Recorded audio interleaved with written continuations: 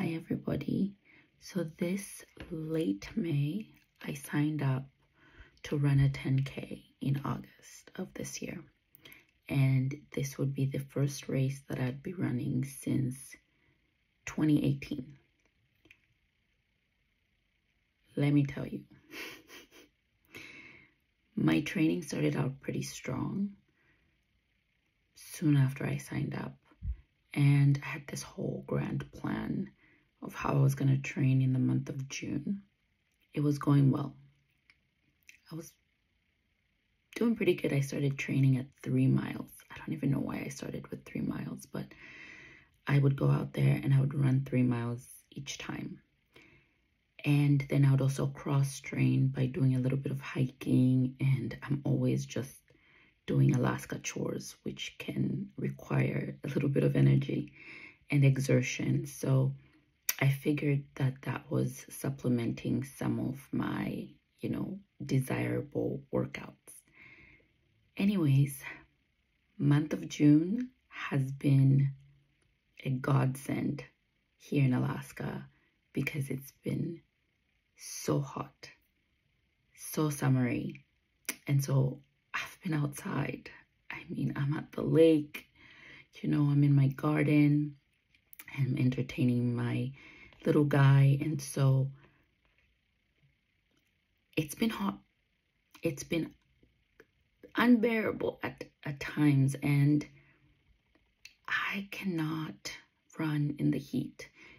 And since the days are long, I'm talking like midnight sun, on really hot days, that sun is shining until it's not shining anymore. So it's been really tough to get the motivation to go and run after spending so much time outside and exerting myself in the sun. And so I've been doing a lot of home workouts, a lot of 20 minute power workouts in my living room and I really enjoy those because they are low maintenance and I don't have to go anywhere.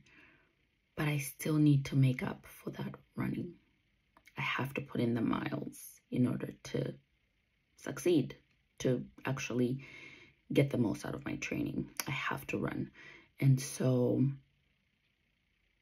I'd like to say that in the month of June, it's been kind of like a, a like a break in. I'm breaking back into running, especially training for a race. And so I have learned a few things this month. Um, my body obviously has changed. It's not the same.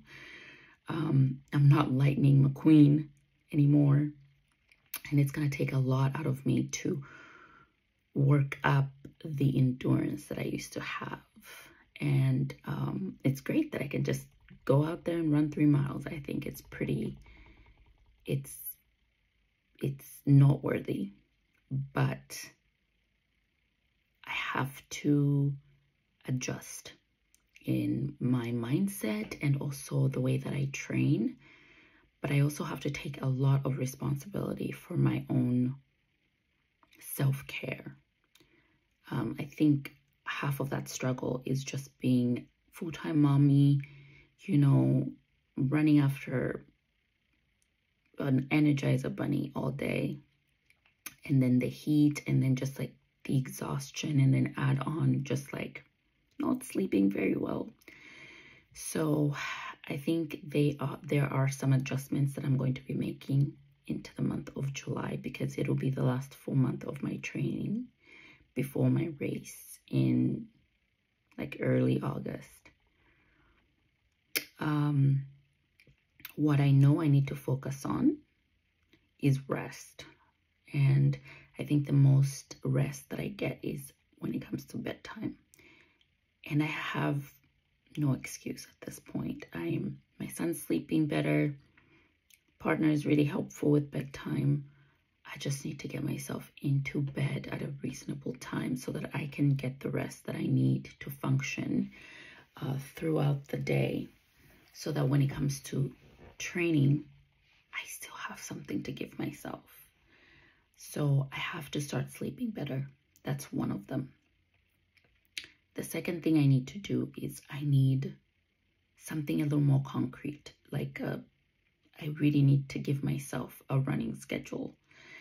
And so currently, I just joined a 30 day challenge. Home workouts. Today's workout was seven minutes, but it was really effective. Um, and so I feel like if I can put that in there and add on to the running, I feel like I'm going to keep up the momentum of working out and feeling good after I work out instead of running today and waiting two days before I run again or three days before I run again. So I started a 30 day challenge today. And also, I need to run a minimum of three times a week.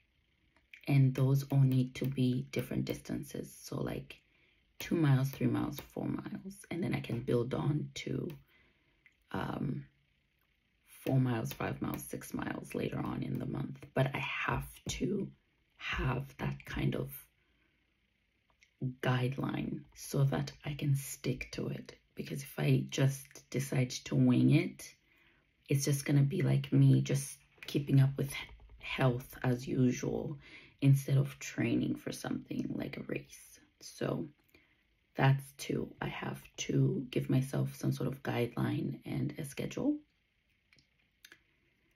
Uh, the third thing that I think I need to do is understand that my body, my body is different. It does not work the same.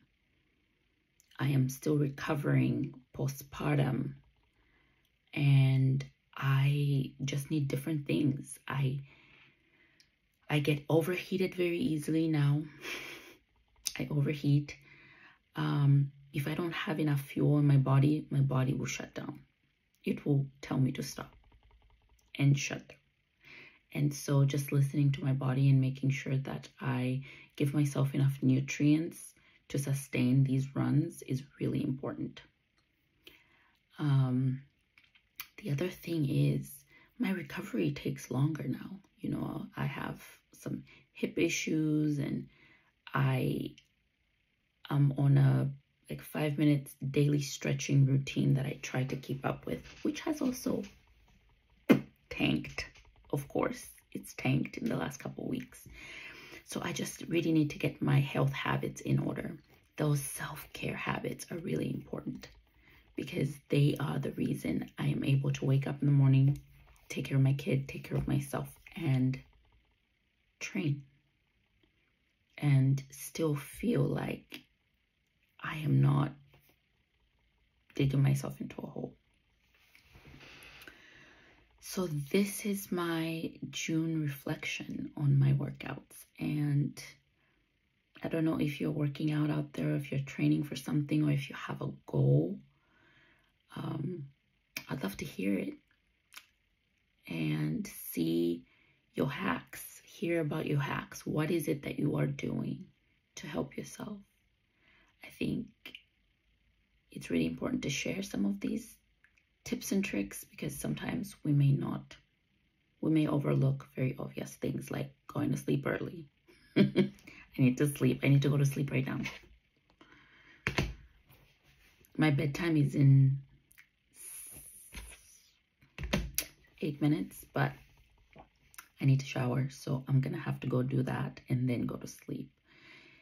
And staring at a screen is probably not a good idea, so I'm gonna sign off. But I want to talk more into detail about my July goals. Today's July 1st. And I think I'm to save that for another video. Maybe it'll be a short, maybe it'll be quick, just talking about plans. But for now, I'm still in the game.